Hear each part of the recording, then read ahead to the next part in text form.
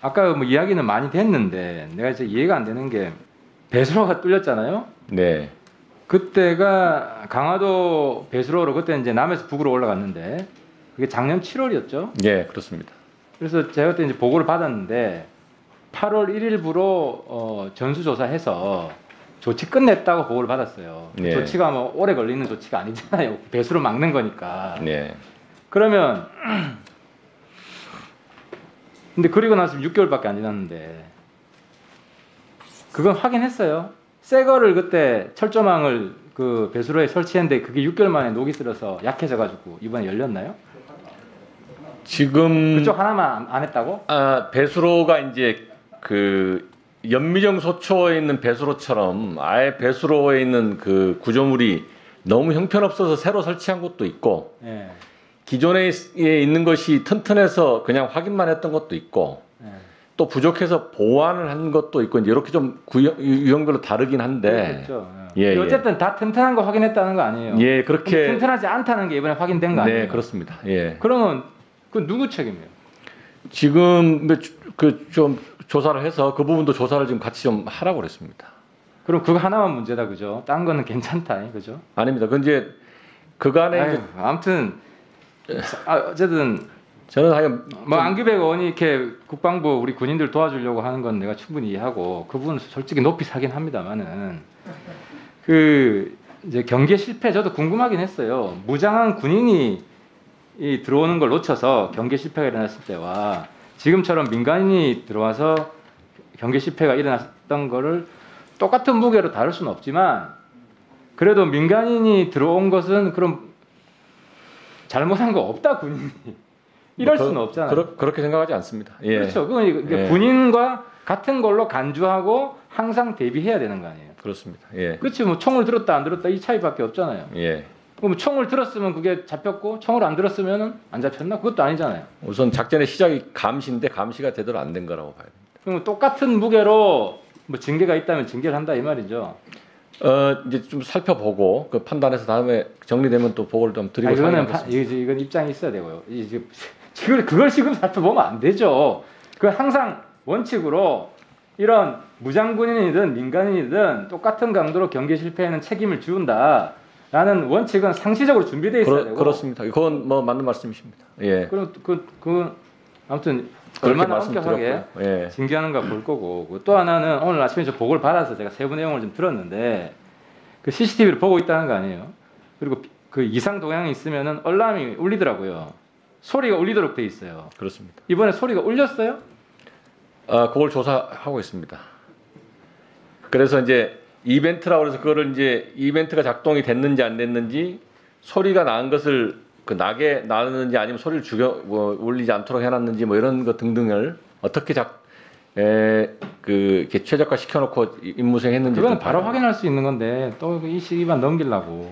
아니요. 그건 아니고 얼람이 작동했는지 안 했는지는 제가 뭐 거- 나중에 좀 확인해 보겠습니다. 그러면 휴- 휴식 시간에. 왜냐하면은 이게 이제 정확하게 검열팀이 내려가 있는데 중간 중간에 검열팀으로부터 유선 보고 받는 건. 적합치 제가 드리고 싶은 봤고요. 말씀은 예. 좀 전에 그렇게 답변을 했어요. 사람이 중요하다. 네 장비는 보조적이다. 그렇습니다. 근데 예. 문제는 재작년이 3년 전 됐나요? 그 저 휴전선에 GP 철수할 GP 폭파할 때 그때 뭘 했는지 아세요? 그때 제가 GP를 남겨놔라 앞으로 어떻게 될지 모른다 그렇게 협상을 하라고 강력히 요구하는 거 다 들으셨을 거예요. 그러다가 한 개만 남겼지. 예. 그러면서 그때 답변이 과학화 장비가 다 들어가기 때문에 걱정할 필요가 없습니다. 근데 오늘 답변은 과학화 장비는 보조 장비 보조 장치에 불과하다. 사람이 중요하다. 사람 다 철수했어요. 안 그래요? GP는 이제 그 좀 상황이 다른데요. 지- 철책, 해안 철책, GOP 철책하고 GP는 조금 상황이 다른데 어, 뭐 좀 상황이 다릅니다. 그거는. 음, 알겠고요. 또 한 가지만 더 하면은 지난 10월 달에 국 10월 26일 국정감사 때 제가 그 안중근함 안중근함 잠수함 예, 예. 잠수함이 이게 이제 그 정제함하고 똑같은 사양이다. 그래서 잠수함이 손원이라는 고장이 있고 정제함까지 고장 났고, 근데 안중근함도 똑같은 사양이기 때문에 이거 곧 고장 날 수 있을 것 같다. 문제 없냐고 물어보니까 그 당시 해군 총장이 문제 없다라고 답변했어요. 그 문제 없다는 게 3개월 만에 3개월 만에 민간 선박에 끌려왔어요. 고장이 나가지고 잠수함이 그랬죠. 의- 의원님 그것은 제가 그 정비 기간 안에 이제 정비를 하고 창정비를 하고 난 다음에 이제 시험 운항하면서 이제 그렇게 된 거니까 된 거니까 작전 중에 뭐 그런 건 아니고요. 아니 근데 그때 문제가 뭐냐면 예 예. 같은 종류의 그 잠수함이고 그래서 이번에 확인해 보니까 같은 부품이 고장이 난 거예요. 예 알고 같은 있습니다. 부품이. 예. 그럼 문제는 이거 마무리할게요. 이 부품을 바로 바꿀 수 있나? 이게 아니라 이 부품은 주문해서 제작이 들어가기 때문에 맞습니다. 2년이 걸린대요.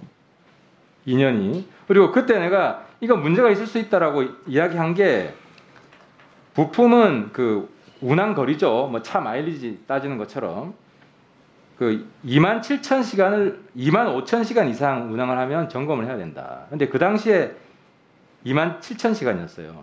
안중근함이. 그래서 이미 왜냐하면 다른 잠수함이 다 쉬고 있으니까 이 잠수함이 더 무리를 한 거죠. 네. 그래서 그 당시에는 부품을 체크를 안 한 거예요. 그러니까 지금부터 2년 뒤에 부품 교체가 일어났단 말이죠. 이것도 우리 그 어쨌든 안보 공백이잖아요. 중요한 예 정비 바다에. 정비 에, 총 수명 주기를 고려한 이 운- 운항 그 또는 뭐 정비 체계가 좀 부족했다고 봐야 됩니다. 아니 그래서 저는 이- 이만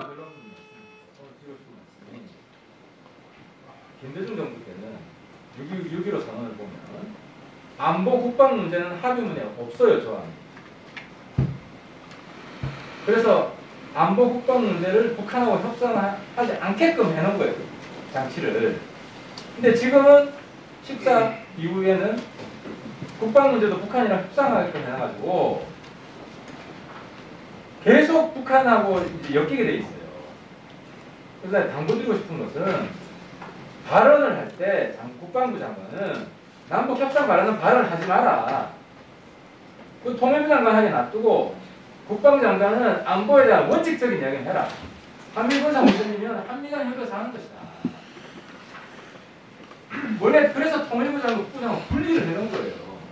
왜 남북 협상에 계속 국방부 장관이 이래 저렇게 해서 북한에 의해서 우리 안보가 해이해지고 국방이 해이해질 수 있다는 그런 느낌을 국민들한테 들게 하는 거란 말이에요. 예, 그 유념하겠습니다. 그 원칙적으로 하여간 저는 그 국방에 대한 얘기, 예, 또 그, 에, 국가와 저 국가 안보에 대한 얘기 중심으로 얘기를 하는데 그때 뭐 질문이 들어와서 이제 제가 아, 그 얘기한 것 같은데, 책임집니다. 네, 네. 예, 알겠습니다. 예. 예, 예, 수고하셨습니다. 다음